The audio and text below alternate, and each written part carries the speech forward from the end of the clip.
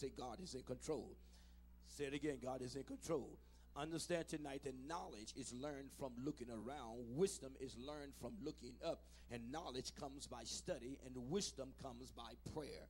Ah, the Bible teaches us, if my people which are called by my name would just humble themselves, pray, seek my face, and turn from their wicked ways. He said, then when I hear from heaven, I promise you I forgive your sins and I bring healing to your land. But then the Word of God also teaches us to study, to show ourselves approved, a workman that needeth not be ashamed, rightly dividing the Word of truth. So the more I study this Word, the more I fall in love with this Word. And the more I fall in love with this Word, the more I want to know about this Word. Aren't you glad to know that Jesus Christ is that Word? Somebody say, Yes, He is. So when trials come, my brothers and sisters, and ask God for wisdom, and as you pray, ask in faith. Give God thanks for giving you the wisdom, not just when you get ready to preach, and not just when you get ready to witness, but every day of your life. You ought to ask God. Listen, this is another part of my prayer. I know you don't want to say, What kind of prayer you pray? I pray long prayers. But listen, here's another part of my prayer because I go back to Deuteronomy 33, 24, and 25, when he told Asher, whose name means uh, best blessed, he said, I'm going to give you shoes of iron and shoes of brass. He said, The place that I'm sending to you indeed is a prosperous place, but at the same time, there are some mountains with some jagged edges. But don't worry, Asher, because I've already given you the shoes. I've already given you the ability to walk through those rough places of life. But he didn't stop there. Verse number 25 said this. He said, And even as your days go, so shall I strength be. In other words, I should, before you ever see the next day, God said, I've already measured that day out, and I've already given you the grace that you need to get through that particular day. I wish you look at somebody and say, That's how I made it through the day. Because of the grace of God, the favor of God that God has given unto us. Somebody clap your hands to give God some praise. Number four is the word enthronement. Somebody shout enthronement. Because James said, Count it all joy.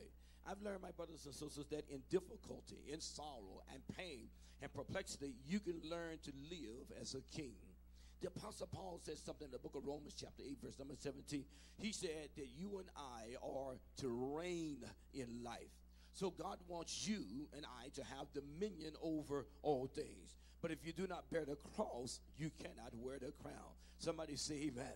Ah, yeah, count it all joy. Count it all joy. Count it all joy when you fall into divers temptation. Jesus said this You can't reign with me if you don't suffer with me. So you got to go through some things just so that God can show you He's Lord of Lords and King of Kings, and at the same time enable your faith to grow in our Lord and Savior Jesus Christ. Number five is the word enrichment. Somebody shout enrichment. The word of God said, But let patience have her perfect work. I love this word. That you may be perfect and that you may be entire, wanting nothing. The word wanting, brothers and sisters, in this particular verse does not mean desire, it means necessity. God will always meet our needs in his own timing. God, my brothers and sisters, wants to give us riches, but you can't hurry the harvest. Somebody shout hallelujah. He is in control, and my faith is in God. So the problem with many of us is that we want it, and we want it all now. Sometimes I listen as even as ministers that when we pray for individual, we say right now, Lord, right now, Lord, but we may not understand that God may have them in that particular place just to get them to grow just a little bit more. Somebody say yes, yes, yes, yes, yes. And that's the reason so many people, brothers and sisters, are up to their eyeballs in credit today. They're buying things they don't need with money that they don't have to impress people that they don't even like. So God says, above all things, that He wants us to be able to endure. Somebody shout, endure and endure and endure. He said, and I will give you the real riches of life. You see, you cannot pass the test, my brothers and sisters, of life until you roll enroll in the school. What I learned as a, a teenager, they call the school of hard knocks. But look at somebody say, don't despair. Because in actuality, brothers and sisters, it's in that school that you're going to find enjoyment. It's in that school you're going to find enlargement. It's in that school you're going to find enlightenment. It's in that school you're going to find enthronement. It's in that school you're going to find enrichment that will last not just for today, but it's going to last you for a lifetime. Oh, I worship your Father. It was the theologian Aristobulus that said something like this. He said, God does not lead his children around hardship. He leads them straight through hardship. Somebody say, go through it. Don't try to dodge it. That's what David said, yea, do I walk through. He didn't say that the valley was his place of habitation. He didn't say he was going to camp out there. He said, but what I got to go through, I got to go through. And I'm not going to do this thing on my own. He said, because God is with me. I'm so glad to know that God is with me on tonight. How about you on today? Amen. When nobody else is there, I always know that God is right there. And I'm so glad I don't have to come to 1703 South North Street to get in the presence of the Lord. I'm so glad Paul said to us in Corinthians that he walks in us and he talks with us. So I thank God for the sweet communion of the Holy Ghost. Somebody ought to say amen. But Jesus leads. And in the midst of hardship, my brothers and sisters, he is nearer to them than ever before. Now, that's a striking way to put it, brothers and sisters. Not around hardship, but go straight through it. Somebody shout straight through it. You see, if we want to be like Jesus, we must learn how to endure like Jesus. Understand that God has a purpose for your life. Ooh, the Holy Ghost is trying to take me a different way. And that He has destiny for your life. And you cannot allow the enemy to detour you from your destiny in life. Wherever you're at right now, I promise you that God already knows all about it. So we need to persevere under the pressure as Jesus Christ persevered. Ah, the Word of God teaches us the enemy come not but to steal, to kill, and to destroy. The only reason the devil show up to mess with you in your life is to take away from you, to try to destroy you, to try to kill you. But we can't stop there because the latter part of that verse said, Jesus said, but I am come. Look at somebody say, I'm so glad there is an I am. I am always operating the present tense of the verb to be. God, Jesus said, I am come that you might have life and that you might have it more abundantly. Somebody clap your hands to give God some praise. And so your deliverance is on the way. If it hasn't happened already, the Bible teaches us there's going to come a time, my brothers and sisters, where every one of us are going to have to learn how to endure like Jesus Christ. No one in history deserved to be more honored and more respected than Jesus of Nazareth. And even Jesus said, Foxes have holes, the birds of the air have nests, but the Son of Man have nowhere to lay down his head. The eagle eyed prophet Isaiah looked at Jesus and said, He was wounded for our transgression, He was bruised for our iniquities. The chastisement of our peace was upon him, and by his stripes, all 351 stripes, it was laid upon his back. Hallelujah. By his stripes that you and I are healed. Our sin sick soul has been healed. Our bodies can be healed. Our spirits can be healed. Our minds can be healed. The blessings of the Lord that make it rich and that of no sorrow to sell it upon us can bless our children, our children's children. We have that plan of salvation, not just for you and I, but for our entire family, simply because of the blood of Jesus. Somebody shout, The blood still yet works. And yet, my brothers and sisters, he was treated with contempt. And the Bible says he was put to death. So, if we endure like Jesus, our own battle scars will be the righteous and beautiful wounds of those who have taken a courageous stand against this evil society. Our wounds, brothers and sisters, will be like his. Note now, because life is a journey for all of us. And that journey, my brothers and sisters, is not always easy. There are hard days. There are some difficult nights that you got to face. And sometimes there are weeks and months. And sometimes it looks like it go for years and years and months and years where the road seems to lead us from hardship to another hardship. No one, brothers and sisters, in the midst of his life gets a free ride. Hallelujah. No one is exempt from the troubles of this world. But Jesus said it like this let not your heart be troubled. In other words, your heart represents your will, it represents your emotion, it represents your intellect. He said, in the midst of all your emotions, what you know about God, He said, don't let your heart be troubled. If you believe in God, believe also in me. I wish you look at somebody tell them, I got resurrection power that inside of me. And if Jesus could go to hell and get up out of that grave, hallelujah, walk out of hell, I promise you, what a little bit of hell we go through on this earth, God will make sure that you're coming out of that particular thing. Sometimes, my brothers and sisters, when we are discouraged, we can feel like giving up and walking away from the Lord. In verses 16 and 17 of Second Thessalonians, Paul prayed now that they would be encouraged and be stabilized in the Lord. I hear this scripture all the time in my spirit every day. Be ye steadfast, unmovable, always abounding in the love of our Lord and Savior Jesus Christ. So, in order now to grasp the full impact of his prayer, we need to back up to verse number 13 in the text read in your mission night. There we will find a message of encouragement now that speaks to us in this 21st century.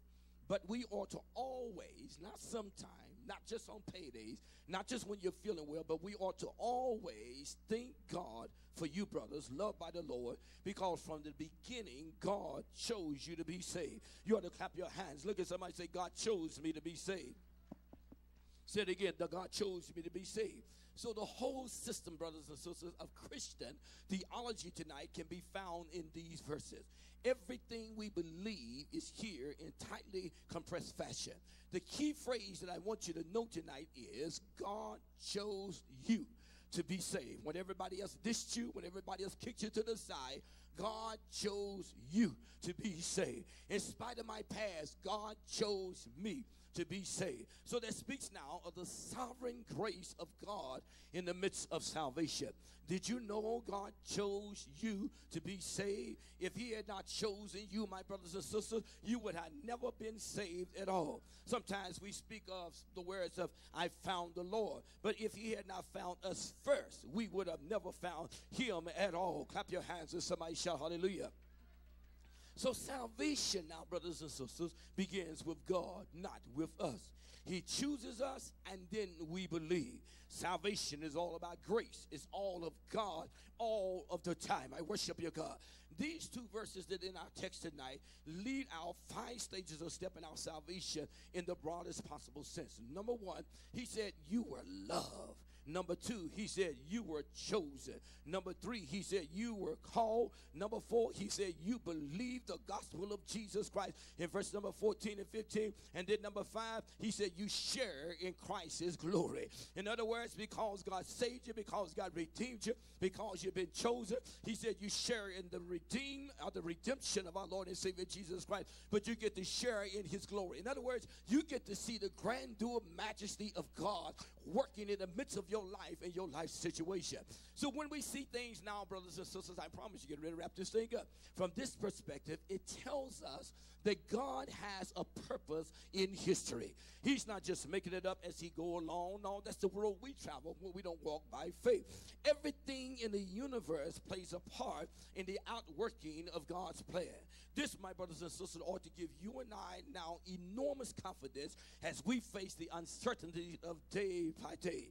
If you believe, my brothers and sisters, that everything in your life is a hit and miss affair, you would think that the events of each day happen just by chance, then you're going to be a prison of your own, a prisoner of your own circumstances. Uh, look at somebody tell them, God orders our steps. The word of God teaches us a good man's steps are ordered by the Lord. The word steps means uh, the advancement of life. So God said, if we're going to advance in life, we got to have Him ordering our steps. I don't know about y'all, but I'm still trying to recover from some of the mistakes that I made years ago simply because I did it Tommy's way. I did it Fred T's way. But I'm got too old now. I need the Lord to error, error every one of my steps. Somebody shout hallelujah.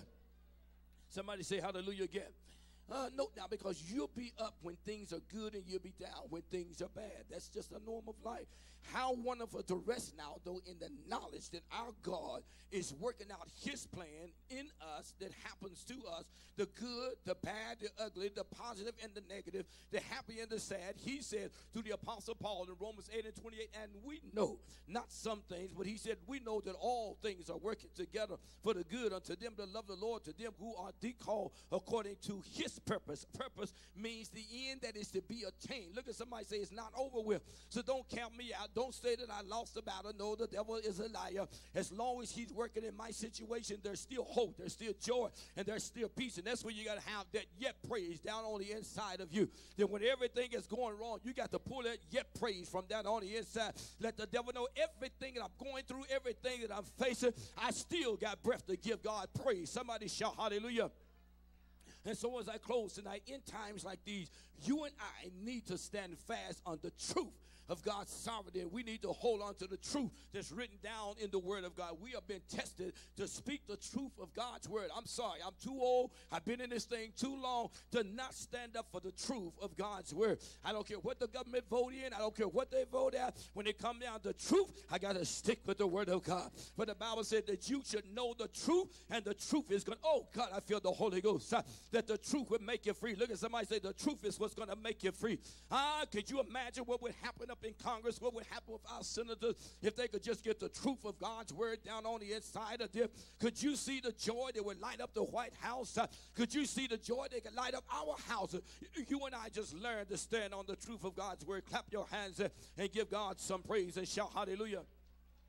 And so, therefore, when the ground seems unsteady, my brothers and sisters, under your feet, remember what you've learned. Go back to the first principles. The Bible is true, God is holy, God is just, and God is good. Somebody say with me, the Bible is true, God is holy, God is just, and God is good. His mercy, the word of God said, endures forever. So Jesus is Lord. His blood cleanses us from every one of our sins. Thank God for the blood of Jesus Christ. He rose from the dead on the third day. He is now enthroned in heaven. And one day, my brothers and sisters, and I don't believe it's going to be long, he's going to return back to this earth. The Bible said he's coming back for a church without spot and without wrinkle. I wish somebody shall clean me up, Lord, clean me up. Because if he clean me up, he's going to beam me up. Somebody shout hallelujah. Ah, and so now the God, brothers and sisters, who created me has a purpose for uh, my life. Don't ever let nobody try to tell you you're nothing because in God's eyesight, he said that you're fearfully and wonderfully made. You are somebody and God has a purpose for your life. All things, not some things, but all things work together for the good. The Holy Spirit of God. That's what I love about the Holy Spirit that operates in the third dimension of God. He intercedes on our behalf. He's God and I'm not God. He's sovereign over all the details of my life uh, and I can trust him completely, even my brothers and sisters, uh, when those details seem to be spinning out of control. Uh, would you just look at somebody and maybe just give them a little high five and tell them God knows what he's doing? Did he not tell us he'll put no more upon us than he's, we're able to bear? He's doing it. God is working. God is working. We say the devil is working, but the thing you need to see is God is working more than what the devil is working. I worship your God. Uh, if we start magnifying God and don't magnify our problems, uh, all of a sudden God gets bigger and our problems get smaller. Somebody shout hallelujah. Do me a favor. Look at somebody say, endure, dig in, and hold on. When trouble comes, my brothers and sisters, sometimes that's the best thing that we can do is to dig in and to hold on. And to all of our millennials, my brothers and sisters, even those that are watching through streaming live on tonight, the 21st century as a whole, I come to tell you that God is telling us stand fast. Take God at His word. Ah, His word is a lamp unto my feet and a light unto my pathway. There is no reason, my brothers and sisters, to quit. There's no reason to give up. There's no reason to throw your hands up. You have purpose. You have destiny. Your greater days are yet before you. For the Bible said your latter days shall be greater than your former days. Somebody clap your hands and give God some praise. Would you do me a favor and encourage somebody? Say, endure as a chosen vessel. You're not just in a party. God chose you. Jesus loved us. Jesus encouraged us through the ministry of the Holy Spirit. Jesus Christ gives you and I hope on tonight. Clap your hands and give God praise, everybody. So